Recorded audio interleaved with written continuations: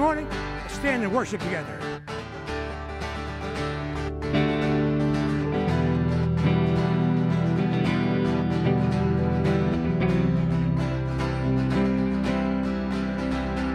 Come, all you weary, come, all you thirsty, come to the well that never runs dry.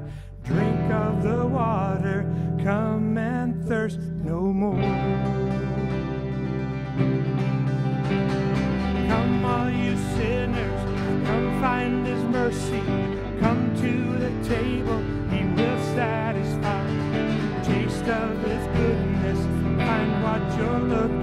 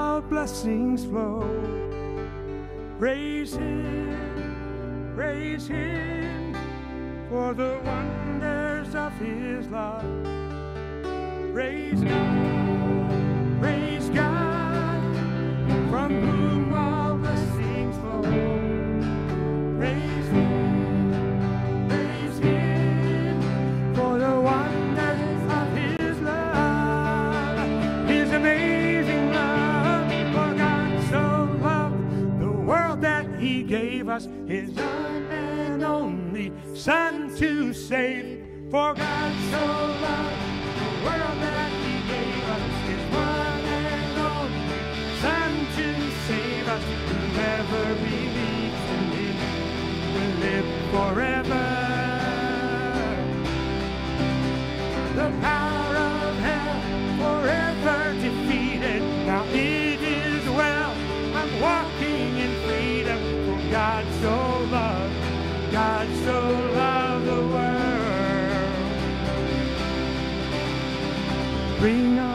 Failures, bring your addictions.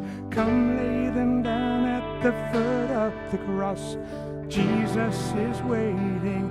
God so loved the world.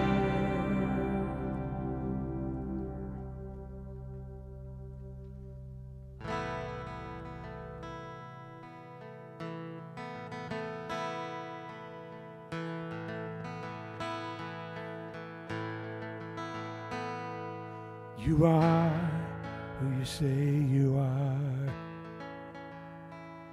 You'll do what you say you'll do. You'll be who you've always been to us, Jesus.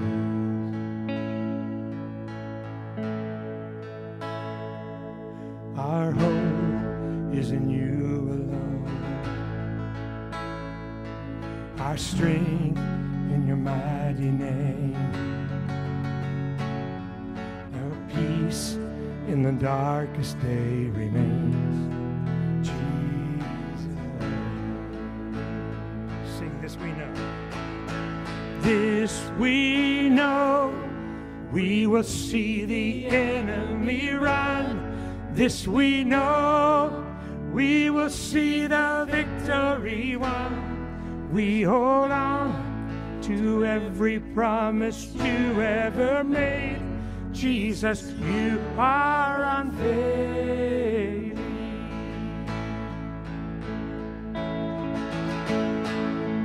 Our guide through the wilderness, our joy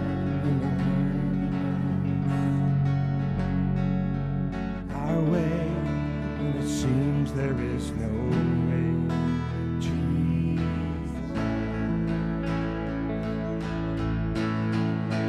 This we know, we will see the enemy run. This we know, we will see the victory gone. We hold on to every promise you ever made. Jesus, you are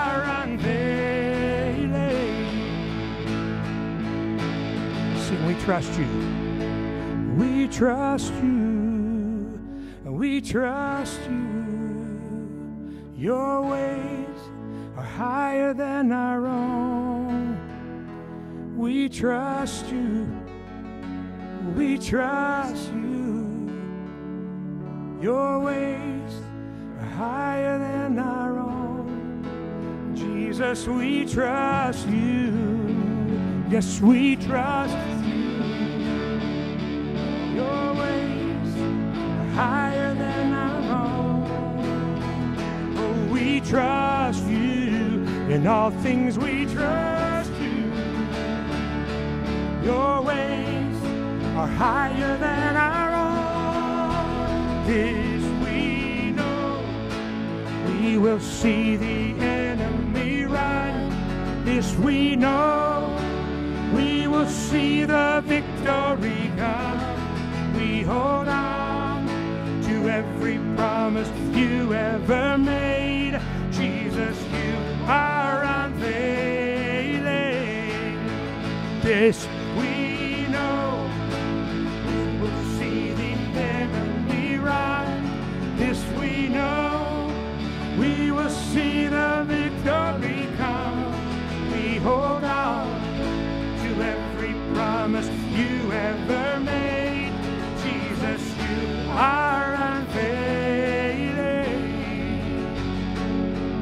Jesus, you are unfailing.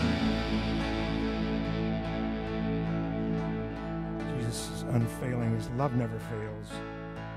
He is stronger than anything that we face. Just one more reason that we praise him.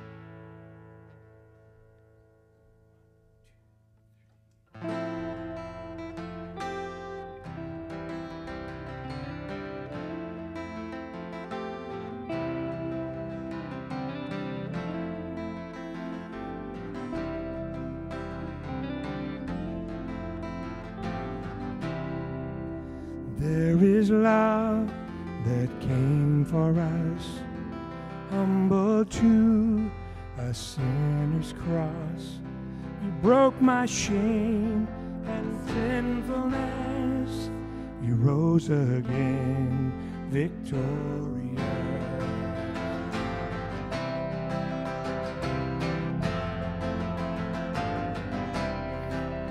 Faithfulness none can deny. Through the storm and through the fire, there is truth that sets me free. Jesus Christ, who lives in me. You are stronger, you are stronger. Sin is broken, you have saved me. It is written, Christ is risen. Jesus, you are Lord of all.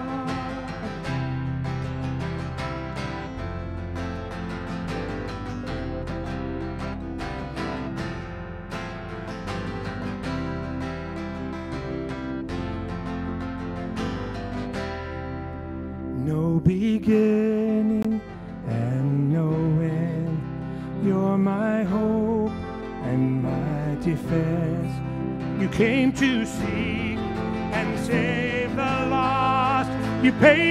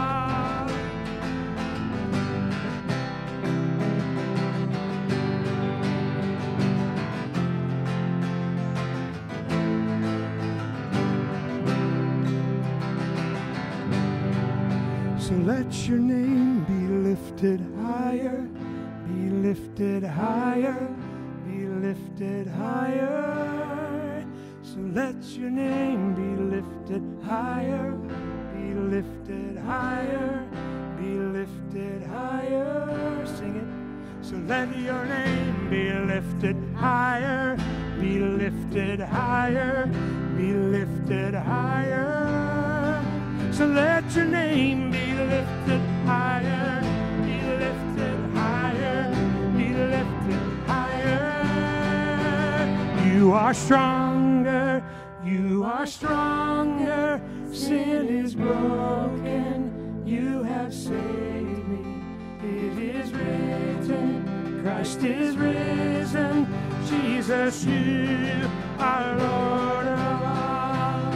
You are stronger, you are stronger. Sin is broken, you have saved me.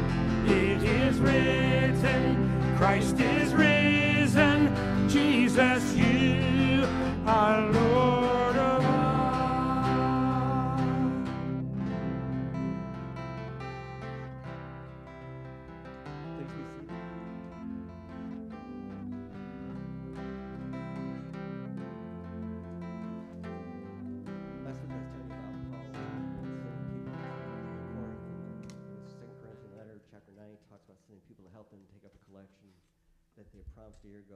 Macedonians. And the importance, you know, of giving, of helping things out. And he says so much more after that. And one of the things he says following that is, Every man should determine in his own heart what he should give, not under compulsion, not reluctantly, but it's he needs to determine in his heart. And we need to understand that that God wants us to give because we want to. He wants a cheerful giver. And since offering is part of worship, we need to understand that applies to all our aspects of worship. Worship is a heart issue. Now, I know none of you have this problem, but if you ever have a bad week, just puts you in a mood. I'm glad for you. Keith never has one. Okay. But it can cause you to be depressed, upset, angry. There's all kinds of issues that can go on. And that week just goes bad and it comes to Sunday. Now, here's what some people do. Okay. Well, I don't feel like worship and I don't feel like going to church because I've had a bad week. Or, you know, decide, well, I'll go to church because that's the right thing to do, but I'm not going to participate in anything. Two bad answers. Because here's the issue we come to worship for our hearts to be changed, to be influenced by the songs. I know you said, you know, you, you need to determine in your heart. Here, here's the thing that happens. If you can come in a bad mood for whatever reason, sing the songs. It will make a difference. Because the whole point of worship when we come here and experience all the things, if we open up our hearts to hear what the message has to say to us, if we open up our ears to hear everything, open up our minds, our hearts, just to hear everything, to experience everything, allow God to work on our hearts and sing, you will leave totally different. Because worship is for God, we worship God. But here's the point we benefit from it. Our hearts are changed, become more like Jesus Christ by getting together as a group, realizing Jesus Christ is the one that died for our sins. He has done everything for us. We don't have to worry about that problem. God provides us for us each and every day. That's not a problem. what are we worried about? And so let's be thinking about it as we continue our worship this morning. Just open up totally to what's going on in our worship, o- to open up totally to God as we face this next week coming because the world is rough out there. And we, and we need to be together worshiping to face it. So let's pray. Heavenly Father, we thank you that you did send your Son into this world for our sins to show us in so many ways how you love us and all the things he did, all the things he said, his death, his resurrection, his promise of preparing a place for us for eternity. All that should lift our spirits and lift us. And as we go out, we have the promise of your Holy Spirit always being with us. And may we always call upon him to get through whatever it is. But just help us to raise our praise to you this morning. In Jesus' name we pray. Amen. How can I have a bad week when I've got you in my life, Lauren? I just don't even know how you could think. That's a good question. That's a oh, good he shut me off already.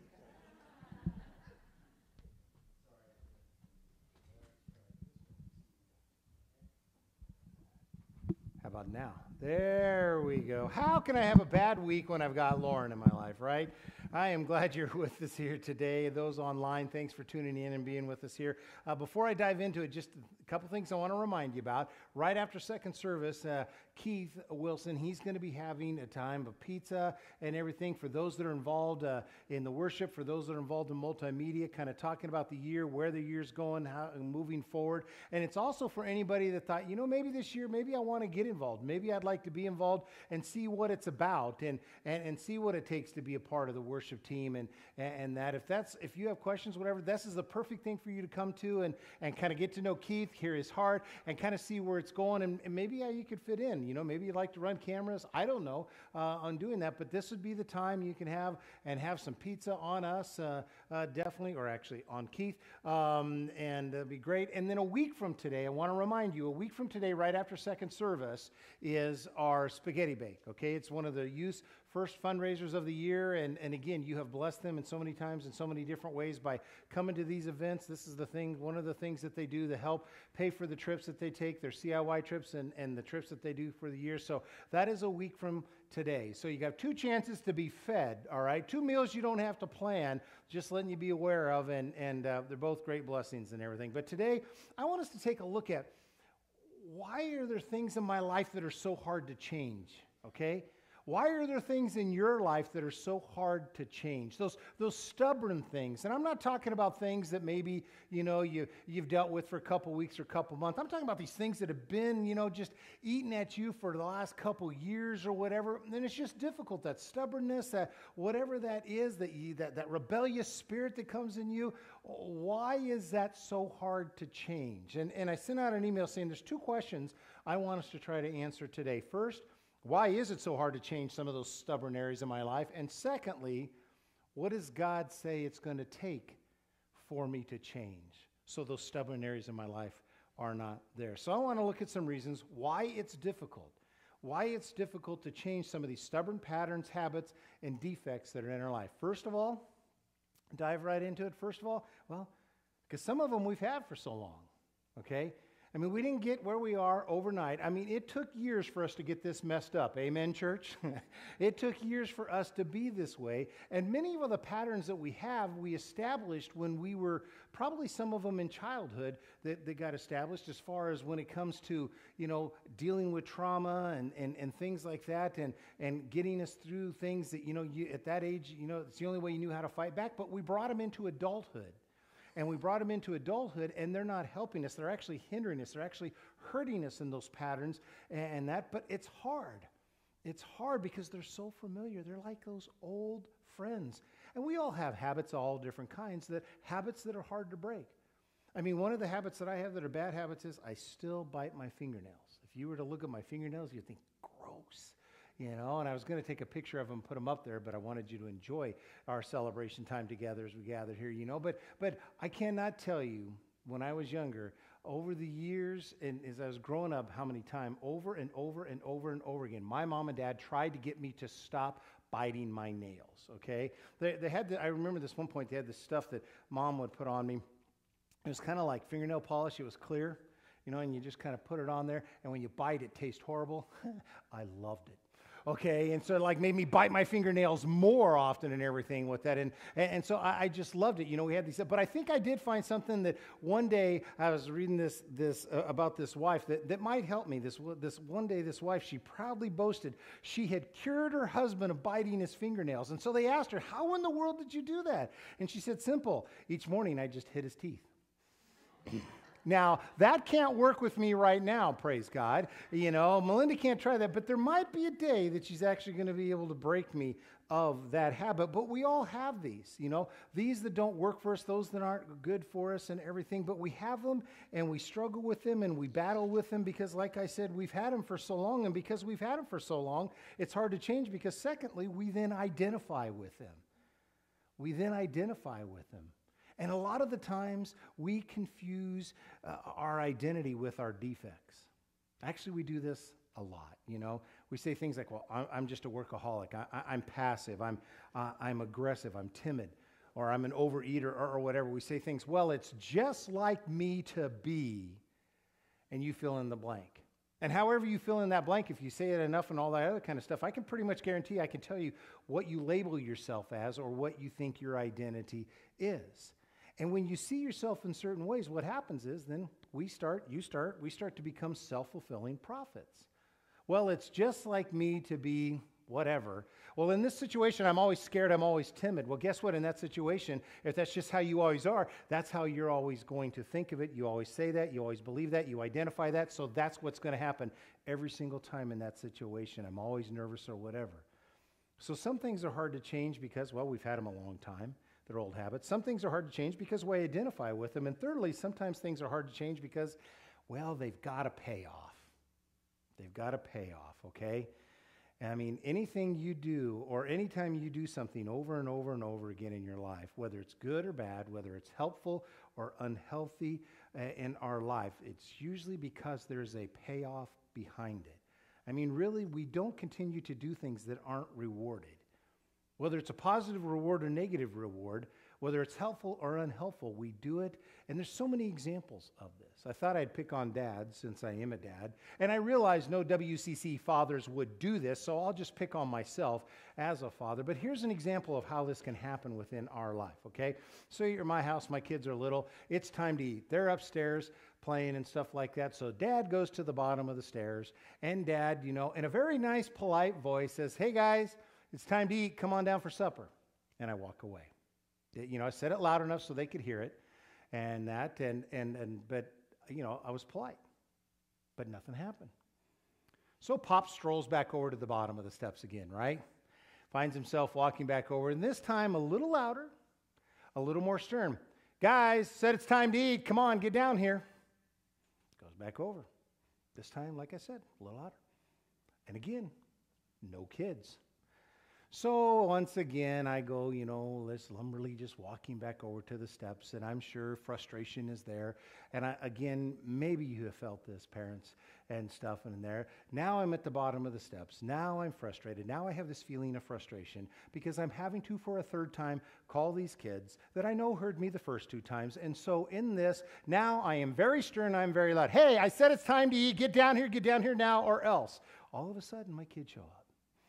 They come down to the table, and what has happened is, at this point, I have been rewarded. I have been rewarded for yelling. I have learned subconsciously look, when I raise my voice and yell at my kids, that's what gets them to respond, and I am rewarded and I get what I want, my kids responding. And so next time I just forget the other two and I just start right with yelling. Okay? It happens, right? But also, I've rewarded my kids because my kids know we get two warnings for pops before we got to move, you know, before he hits that third one out there with it. So when, when, when I hear dad with that first, hey, it's time to, I can still continue to play my game because it's just dad. He's polite. Eh, that's just dad. He's a, oh, I better move. I mean, we do this all the time. It becomes this habit, this habit. You see, maybe, maybe my defect, maybe my habit, maybe my pattern also, that stubborn part of me Maybe it's masking my real pain. Maybe it's giving me an excuse to fail. Maybe there's lots of reasons you can repeat negative self defeating behavior. But there are a lot of reasons that we often don't know why we do what we do. But when we can figure out why we do what we do, it can help bring about change. But the fourth reason it's so hard to change for us is because, well, Satan's out there trying to discourage you, okay? You're not in this battle by yourself. He wants you to stay stuck in this is rut, as it says. I mean, I don't know if you realize this, but he's constantly, constantly accusing you. The Bible says that Satan is an accuser. That's what his name means. He's this adversary, and he's constantly suggesting negative thoughts. And he's looking at you and saying, You're not going to change.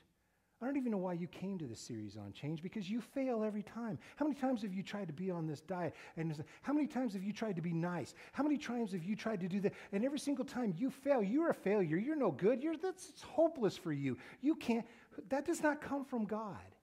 Those kind of messages don't come from God. They come from the accuser. They come from Satan. And we listen to them because of the way we have talked about earlier, the way we label ourselves. Well, I'm always this kind of person that does this. It's just the way I am. You got to accept me. No, You've believed a lie about who you are. That's not who you are. That's not who God created in you when it comes to these things. And so he's this accuser that's there in, in our life. And, and so uh, we have these things that make it difficult for us to bring about change. And last week, in this topic, you know, when we talked about how all change starts, we said it starts with choosing and it starts in the mind. And I read from you from Ephesians, and I want to reread it again here Ephesians 4, starting in verse 21. It says this. Since you have heard all about Jesus and you've learned the truth that is in him, throw off all your evil nature and your former way of life, which is rotten through and through, full of lust and deception. Instead, there must be a spiritual renewal of your thoughts. You must put on your new nature because you are a new person. This is that changing life. Created in God's likeness, righteous, holy, and true. So put off all falsehood. That's those lies. The lies that you believe about you, the lies that you believe about others, the lies that you believe about God. Put off all falsehood and tell your neighbor the truth because we belong to each other. Don't let the sun go down while you're still angry, for anger gives a mighty foothold to the devil. So, what I want to do with the rest of our time together is, is this is the reasons I've given you of why it's so difficult. And I think we all understand those reasons why it's difficult to change. Now I want to take a look and say, okay, what does God say then needs to be in place if I want to bring about the change that God wants within my life? See, first, change requires learning and facing the truth. Learning and facing the truth, okay? Because, my friends, you and I, we can't have positive change on negative ideas or lies or myth, mistruths, okay? Change always starts with truth. And there's a couple parts of that. Proverbs 23 23 says, Learn the truth and never reject it. You've got to learn it and you have to face it. And so many times we know the truth. Our struggle is we reject the truth that we hear. And the secret to personal change is not willpower. Yeah, willpower can work for a little bit, but not for a life. It's not about resolutions, it's not about a gimmick. It's knowing and facing the truth about you. It's knowing and facing the truth about God. It's knowing and facing the truth about your past. It's knowing and facing all these the truth about the problems, your family, whatever it is. Because remember what Jesus says when you know the truth, okay? When you hear the truth and you know that's the truth, when you bring that truth and you're willing to face that truth in your life, then what? That truth will do what? That truth will set you free. But here's the problem what if I don't want to face it? what if I don't want to face the truth that I know about me, okay? And, and, and I've heard somebody, I've heard it put this way yes, the truth will set you free, but first it'll make you miserable. That's why a lot of the times we don't want to face the truth. We don't want to accept the truth. We don't want to deal with the truth because sometimes the truth can be painful. Sometimes the truth can be real, real uncomfortable. Wow, I've got to do what? Wow, I've got to. And we, so we don't like it. So uh, what I like to do is, you know, I'd rather just be happy, live in my little happy mythical fairy tale land where everything's copacetic. it's called the land of denial. Wherever I go, I'm in the land of denial. I like that place because then I don't have to face the truth when it comes to those other things. But Isaiah, I mean, this has been an issue that's been going on. Remember, this was written thousands of years ago. We don't want to hear the truth. We don't like it. Isaiah 30:10 says this, people say to God's messenger, "Don't tell us the truth. Just say things that will make us feel good and things we want to hear. Let us keep our illusions. Let me live in that state of denial. I don't want to face the truth. Tell me what I want to hear." Okay? See, anytime we don't want to hear something, It's human nature just to come up with some kind of mental barrier, some kind of excuse, some kind of procrastination, okay? Even when that truth can set us free. It's very, very common in, in the Gospel of John, chapter 3, verse 11. Uh, I, I love, I think the message paraphrase does a beautiful job of capturing the Greek. It says this I'm telling you the truth. Yet instead of facing the evidence and accepting it, you procrastinate with questions. We do this all the time. We are experts at this. We do it and we don't even realize we're doing it. Somebody comes to bring a truth to us, to share a truth with us, and what do we do? We divert. We divert. We reflect with a question. Oh, yeah, but what about? You ever done that? Hey, I need to talk to you about this, okay? I've been noticing this on your Oh, okay, you've been Yeah, but what about what about such and such? You've just deflected that truth. We're not talking about it. We're talking about you. The truth that you have to face, the truth that you need to accept, the truth that you need to deal with. We need to stop. God says, stop deflecting. In 1 John 1 8, it says, When we claim we haven't sinned, we're only fooling ourselves and refusing to accept the truth. The first part of change is I've got to admit it. I, most likely, the problem, I'm looking at it right here. It's me. It's me. And I don't, I don't know, you know, as you think about this, as you're hearing this, if, if there's anything else that you, you know, hear, if you don't hear me say anything else today, I hope you hear this. In your life, behind every self defeating defect, okay, is a lie that you are believing. It's a lie that you're believing. Maybe, you know, you're, you, what, this is what happiness is supposed to be. Well, who told you that? Well, the world says this is happiness, but what does God's word say? You're believing a lie of the world. Well, what, is the, what does it say about who God really is? A lot of people are believing a lie about who God is, about yourself, about your past, about what the world says this is real success. What does God's word say? This is why the first requirement of personal change or to reset your life is to learn the truth and to face it, okay? Because I don't think we realize this. One of the greatest ways you can love yourself, all right? One of the most loving things you can do for yourself uh, and that, and do for your family and do for your friends. And that is to face your truth and accept that. It's one of the most loving things you can do for God. When Paul was teaching the Ephesians, he said this in Ephesians 4:15, love should always make us tell the truth. Then we'll grow. You really want to change? You really want to grow to be more like God's son? Then we will grow in every way to be like Christ. Because it's love that should when we tell the truth, that's when we'll grow, okay? So then the question becomes where's the best source of finding truth? And this kind of goes without saying, but I'm going to say it anywhere. Anyway, okay? You want to know the truth? Consult the owner's manual, all right? Because the only way you're going to know, like for instance, your purpose is either you talk to the Creator or you guess. And so many people today are guessing, and that's why so many people are struggling. They're not going to the owner's manual to understand who you are, who you've been created to be in the image of, what your life should look like, what your life should sound like each and every day. And so, you know, we're not hearing that. John, we, we looked at last week. We got to have the truth. The truth will help set us free. Well, what's the truth? John told us last week. His word, God's word, is truth.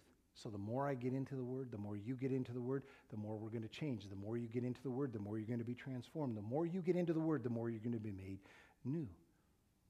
And when it comes to personal change, the Bible's the manual for this. You're going through life like, I don't like how I'm living right now. And then, then you're reading through the, God's word, the truth, and you come to that. And when, when Paul's talking to Timothy, that young preacher, trying to help and encourage him and understand, you know, what he's got in his hand, what he needs to be doing. And in 2 Timothy 3, we read this All scripture is inspired by God and is useful to teach us what is true to what, to, and to make us realize what is wrong in our lives it straightens us out and it teaches us to do what is right. I love that. The Bible shows us the path we're supposed to be on. It shows us how we've fallen off the path. It shows us how to get back on the path and it tells us how to stay on the path. It says it's God's way of preparing us in every way, fully equipped for every good thing that God wants us to do. And I could spend so much time here. I got to get moving on here with this. But, you know, that's why it's so important that we encourage you, that we hand out those reading plans, that we're always telling you to have that quiet time, to get into God's Word, because that's where the truth is. The truth that can help set you free, the truth that can help you understand some of these struggles that you're going through. That's where truth is. It's in God's Word. That's why it's so important that we're into it and we're praying. But number two, lasting change requires new thinking. New thinking. And I, I- did my whole message on this last week when we were talking about Ephesians 4:23. There must be a spiritual renewal of your thoughts and attitude. Because remember what we said. What you think determines the way you feel. And all feelings start with a thought. Feelings aren't feelings themselves, they're, they're a response to a thought. So what you think determines how you feel, and how you feel determines how you act. So if you want to change the way that you act, the Bible actually has a word for this process. It's a, it's a word I'm sure you've heard before. It's a word called repentance. Okay? But a lot of the times when I teach on repentance or I talk to people about repentance, this is what they tell me that they imagine. Pictures. They picture people like this, standing on the street corner with what they call those sandwich signs, you know, repent each and every one of you, you're going to go to hell. They got the bullhorn, you know, yelling and screaming and, and that, except Jesus, you know, you're going to die, you're going to burn, you're going to hell, and they're doing. And, and that's what they image of repentance is. But that's not repentance, okay? The word repentance, the Greek word for repentance is metanoia. Meta means change in Greek. Noia means mind. Change your mind. Changing the way you think. Because if you change the way you think, it'll change the way you feel. And the way you feel will change the way you act. A mental U turn. You repent. Okay? Philippians 2 5 says this Let the same mind and attitude be in you, which is in Christ Jesus. And again, what we've learned choosing is the beginning of changing. Okay? It's a choice. And when you and I, when we choose to change the way we think and we begin to think God's thoughts, the way that Christ sees you, the way that God sees you, when you get begin to put on the mind of Christ and think like he does, your defects will be you begin to see them in a totally different way because here's something we don't i think i don't think we understand about a lot of our defects that we struggle with and stuff a lot of the problems that we have that we struggle with these defects that we're talking about are actually strengths given to us by god that we abuse and we misuse they're actually strengths given to us that God wants us to use, but we misuse them. And so, for example, maybe you have the, the, the, strength of discernment, the gift of discernment that's given there. And, you know, if you're not careful, you can be tempted to misuse it and, and come across as being highly judgmental. Maybe you have the strength of being detailed, okay? That's great. You notice little details, all right? But if you're not careful and you don't use it correctly, you become picky or unpleasable when it comes to that. Maybe you're just the opposite. You, you have the gift of, uh, or the strength of the big picture. You can see the big picture. You know the end result you want to go to. And, and the problem with that, if you misuse it, you'll just run all over because the person that can see the little details, you don't care about that. You just care about getting to the big picture. And so you're running all over, stepping all over people, trying to get to the big picture, helping them all see the big picture. You misuse and abuse it. Maybe, you know, uh, you're like me. The strength is amiable, okay? You can pretty much get along with just about anybody, but misused, you're going to let people run over you, people that shouldn't run over you. Because when it comes to our defects, a lot of the times what's happening is uh, there, there are these legitimate needs that we have. And if we don't feel like those needs are being met the way that we want them, when we want them to be met, then what we try to do is we will do on our own strength and our own ability, we'll try to meet. I mean, everybody has a legitimate need for to be respected, correct? Do you want to be respected? I hope so. You know, everybody wants to be valued. Everybody wants to feel secure. Everybody wants to like kind of feel like they're in control. but if we're not careful, if we're not careful, if we're not getting those, those those needs, those legitimate needs that we feel met when and where and how the way we want to, we can start misusing some of these gifts to do what we want to do, and, and then they become defects and not, uh, not blessings. And I got to move on. I got to move on. I could keep going on that one forever. But number three, lasting change requires community and coaching. Okay? You know I was going to cover this one community and coaching. There are just some problems in your life that are so big you cannot do it on your own. Again, you may have the willpower to help you step up and start doing it for a while, but it's kind of like, you know, talking about football and everything here uh, that we're in uh, with uh, getting ready for the Super Bowl. Imagine you had a guy on a team, you know, that you're going to be watching today. Their running back stood about, I don't know, 6'3, 6'4, 275. And one of the defensive players stood about 5'6, 5'7, 175 you know, and they're going to go against each other. Now, that little guy, that five-seven guy, I mean, he made it to the pros, so he's probably got some good moves, and he may be able to tackle this larger guy. But if it's only him by himself through the whole game, he's going to get tired, he's going to miss, he's going to fail, and he's going to get wore out. He needs the other 10 people on his team to help team tackle the issue.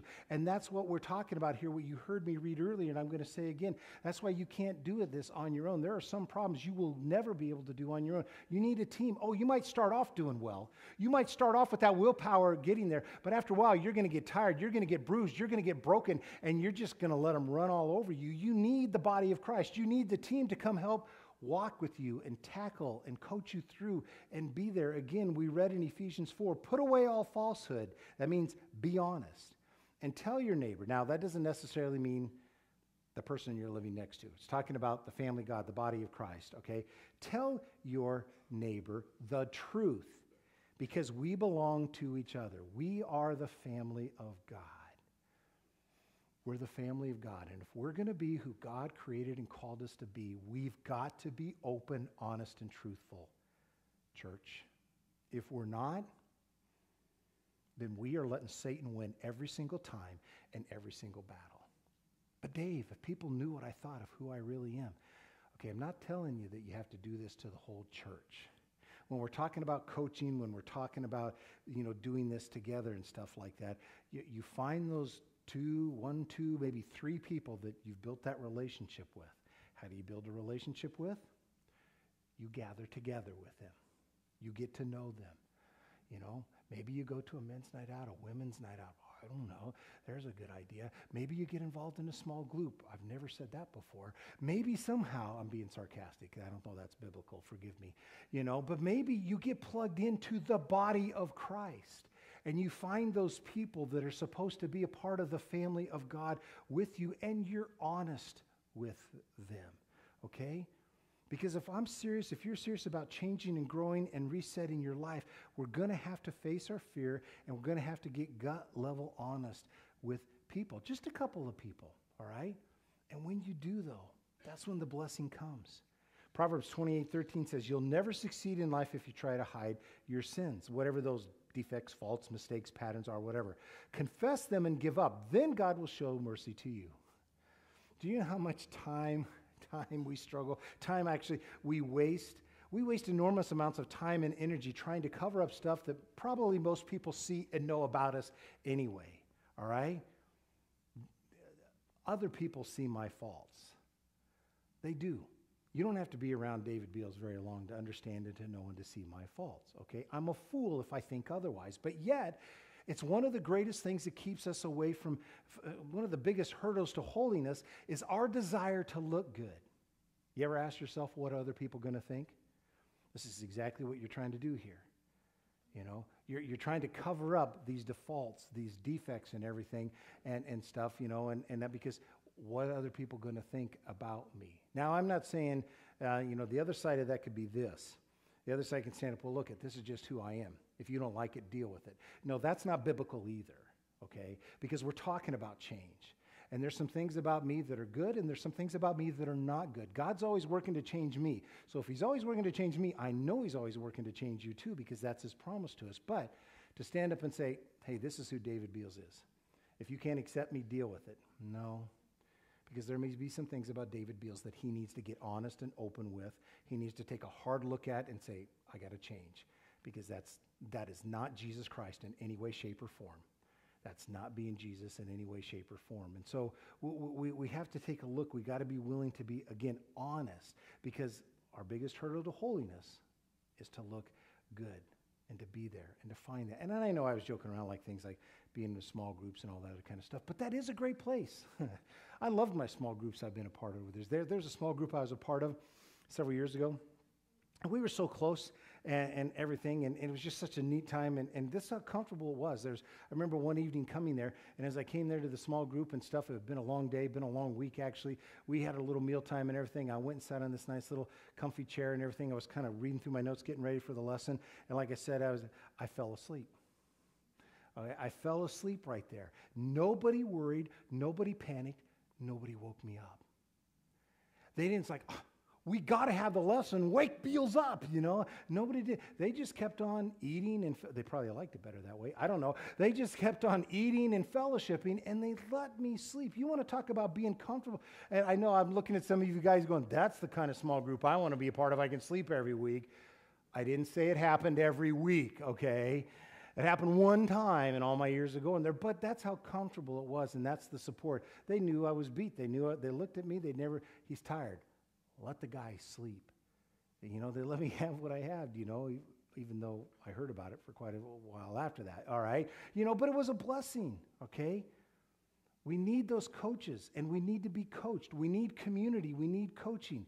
We always grow faster with a tutor or a trainer, and, and, and we always grow faster when we're coaching others. I mean, again, I used the football analogy earlier. These people that are in the pros, do you think that they're just going out playing these games? The games you're going to, some of you are going to watch today, maybe you've been watching as we get ready. Do you think they're just going to walk on and no one's going to coach them and tell them what to do? No. Even these pro athletes have coaches. And they're also, if you notice, coaching others. It's an important thing that we have within our lives because a coach, what a coach can do, a coach will, will help minimize a strength and maximize a weakness. You go through scripture, you see it all the time. Joshua had a coach named Moses. Elisha had a coach named Elijah. Solomon had a coach. His name was David. David had a coach. His name was Samuel. You know, there were 12 other guys that were coached by Jesus. John coached this guy that had a funny name called Polycarp, all right? And, and it just goes on down. I can give example after example. Because if you and I, if we're serious about change, all right? If we're serious about our life and working on the hard places that we don't like, that have been tough, patterns that have settled in, you know, we need a coach. And we need to help coach others. We need a training partner, okay? We need that within our life. It, it, I've, I've heard it put this way in the churches everybody needs a Paul, everybody needs a Timothy. Everybody needs a Paul, someone that's pouring into them, teaching and training them, and everybody needs a Timothy that they're taking and pouring in and teaching and training them. It's part of what helps bring about change. And the fourth thing that covers all of this it's going to bring about is it requires the Holy Spirit. Lasting change requires the Holy Spirit, okay? There's only so much we can do on our own, all right?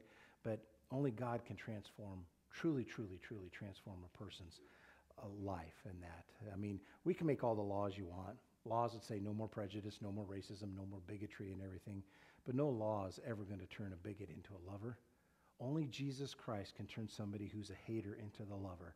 And like I said, first service, that's a saying straight out of the 60s, okay? Only Jesus can turn who's ever a hater into a lover. And it's only by his power. Remember what Zechariah, Zechariah 4 6? This is the word of the Lord. You will not succeed by your own strength or power, but by my spirit, says the Lord.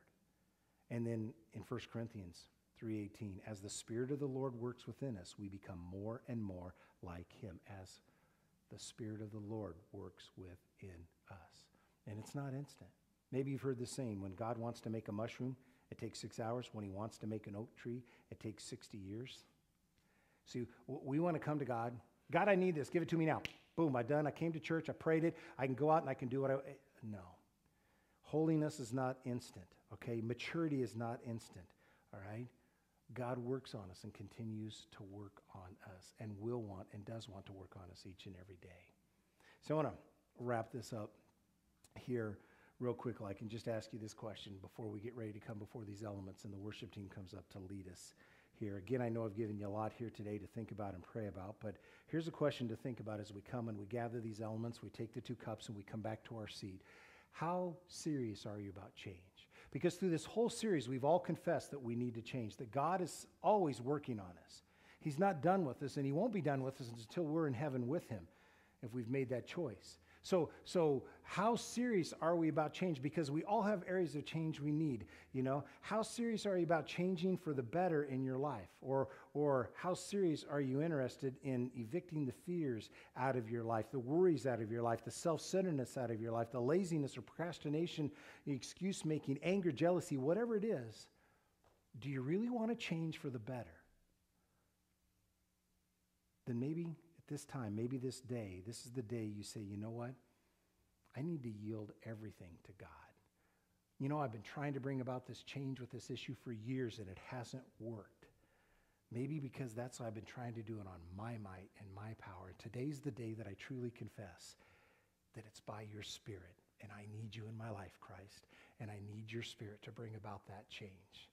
Maybe that's today. I don't know. But as you come before these elements and you take them back and you're praying and giving thanks, that we're able to have that in change because of God's love, because of God's Son and what He's done for us and everything. If there's a change that you want, if there's people you want to talk with, prayer you want, don't leave today. We have people here that would love to talk and pray with you uh, about this. But let's go before our Lord right now. Father, I thank you so much I thank you for this time that we have, that we've been able to gather here. Lord, that we can be reminded that you are not through with us, and we praise you for that, Lord.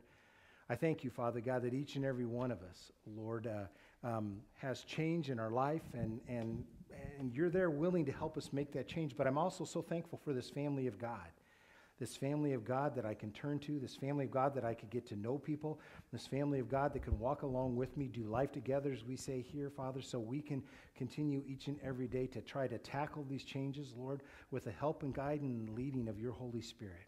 As we come before these elements, Father God, may we just remember Remember the love and sacrifice that is there before us. As we partake in these elements here, Father God, may we remember Lord, what was done for us. And may we also remember the power that we have with us each and every day that can bring about the transformation, the change that we've been talking about.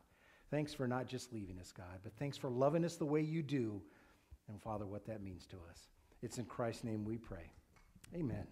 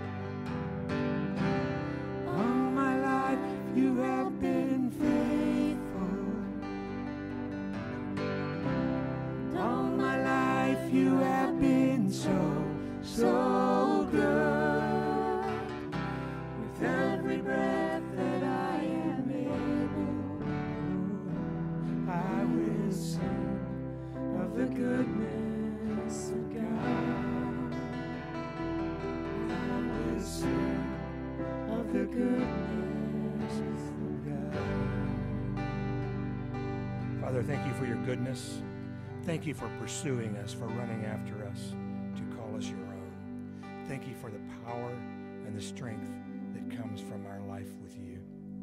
May we stay close to you. May we take our words today, the words from Brother Dave and from our worship time together. Let us take that with us every day this week, every minute. Apply it to our lives. Let us not be Sunday Christians. Let us be your servants in our lives every day. Guide us. Bring us safe back.